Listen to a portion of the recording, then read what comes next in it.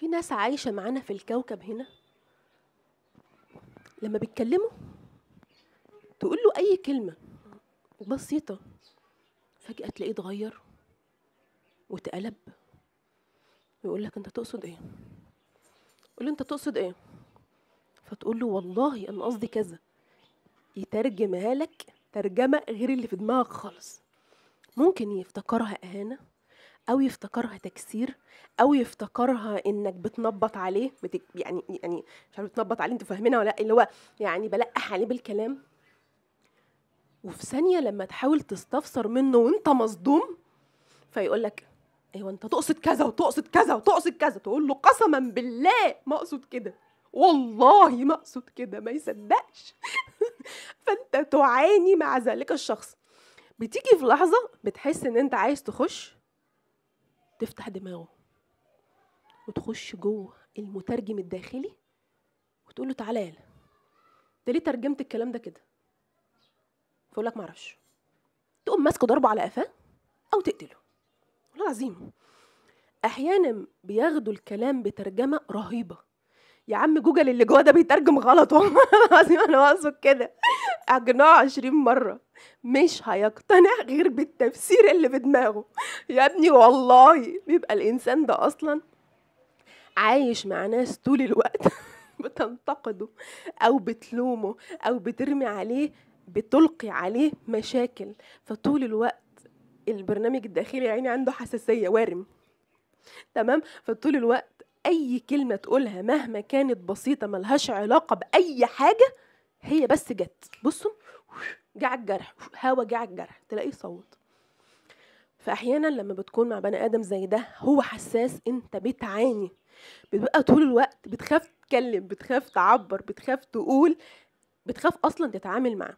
فبعد فترة بتخشي معاه في آه، صمت تجنبي. مش أنا هعيش معاك إذا كان بقى أب أخ زوج صديق أي حاجة. الصمت التجنبي ده اللي هو تمام.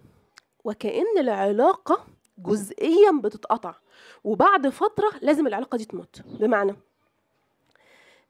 إيه لأن أنت هتحس إن طول الوقت بيتصيد لك الأخطاء. الكلمة اللي بتقولها بتتفسر بمليون تفسير ومعظم التفاسير بتبقى غلط.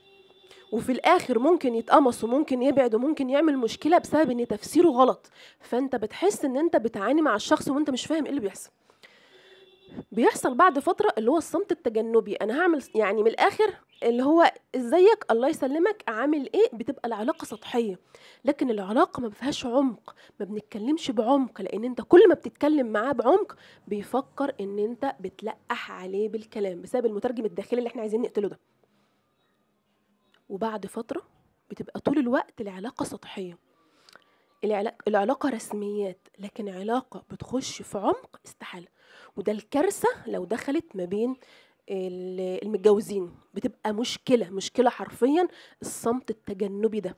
لأنه بي أو التفسير والترجمة الداخلية لأفعال وأقوال الناس بطريقة فيها سوء ظن. وطبعا الناس دي بتبقى ناسية إن بعد الظن اسم مش طول الوقت كل حد يقول حاجة فآخد الكلام ده أفسره بسوء ظن. مشكلة مشكلة مشكلة. بتدمر أي علاقة بعد فترة.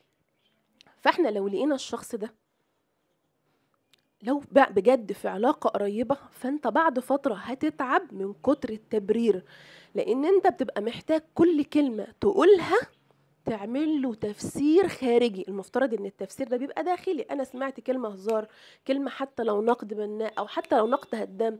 فأفهم أو أدافع عن نفسي من غير ما أتقمص ومن غير ما أعمل مشكلة ومن غير ما هاجم اللي قدامي ومن غير ما أخش معاه في جدال عقيم من غير ما أطلب منه تبرير طويل عريض لفعل بسيط هو عمله. فبالتالي بعد فترة مهما كانت قوة العلاقة اللي ما بين الأشخاص دول لازم هتتقطع ولازم هتخش في الصمت التجنبي لأن أنا من الآخر مش طول الوقت هتجهد نفسك في إنك تفسر له. أنا بقصد إيه لما بقول الكلمة دي؟ فعذاب حرفيا أنت حرفيا بتتعذب مع الإنسان ده لو عايش معاه في علاقة آه، عائلية أو في علاقة زوجية. فالحل يا جماعة إحنا طالما عرفنا الناس وعرفنا نظامهم إيه ليه طول الوقت نسيء الظن بيهم؟ أنا عارف إن الشخص ده طبيعته بيلقح فخلاص ولا طبيعته كويس هو بيحبني وبيراعيني. إيه طبيعة الإنسان ده؟ فبالتالي على هذا الأساس أقدر أتعامل معاه ولكن بلاش سوء الظن في التعامل يعني طول الوقت. بس كده السلام عليكم.